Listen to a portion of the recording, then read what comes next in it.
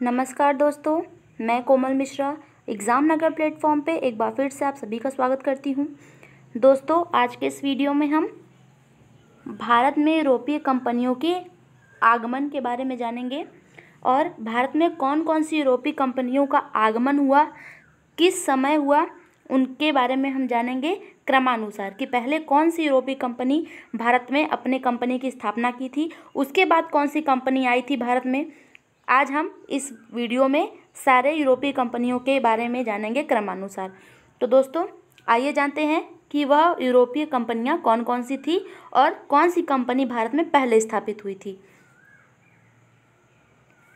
दोस्तों, जैसा कि हम हमेशा से ट्रिक वाले वीडियोस लाते हैं तो भारत में यूरोपीय कंपनियों के आगमन के क्रम को भी आज हम ट्रिक के सहायता से याद करेंगे। ट्रिक के माध्यम से भारत में यूरोपीय कंपनियों के आगमन को याद करेंगे। ट्रिक है हमारा पुत्र अड़ा, डैड फंसा। पुत्र अड़ा, डैड फंसा, यह हमारा ट्रिक है। इस ट्रिक के माध्यम से भारत में यूरोपीय कंपनियों के आगमन को क्रमानुसार याद करेंगे। तो दोस्तों, ट्रिक का जो पहला शब्द है, वह है पुत्र। पुत्र से हो गया हमारा पुर्तगाली। पुत्र से क्या हो गया? पुर्तगाली। पुर्तगाली भारत में सबसे पहले आए थे। और इन्होंने अपनी कंपनी की स्थापना भारत में चौदह में की थी। चौदह में पुर्तगाली भारत में अपनी कंपनी की स्थापना की थी। अगला हमारा अ। अ पुत्र हो गया हमारा पुत्र से पुर्तगाली, अ से हो गया हमारा अंग्रेज़। अ से हो गया अंग्रेज़। इन्होंने अपनी कंपनी की स्थापना भारत में सोलह सौ ईस्वी में की थी। अंग्रेज़ों ने अपने कंपनी की स्थापना सोलह सौ ईस्वी में भारत में की थी। अगला हमारा डा। डा से हो गया डच इनकी कंपनी की स्थापना भारत में सोलह सौ दो ईस्वी में हुई थी। डचों ने अपनी कंपनी की स्थापना सोलह सौ दो ईस्वी में भारत में की थी। अगला हमारा डैड। डैड से हो गया डेनिस।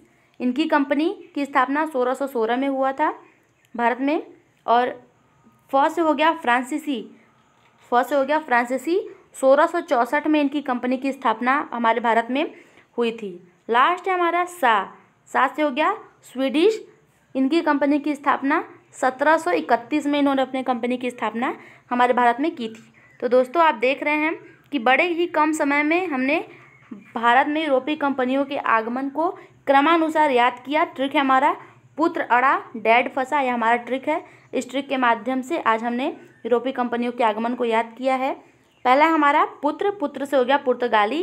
इन्होंने चौदह में अपनी कंपनी की स्थापना भारत में की थी। अ से हो गया अंग्रेज़।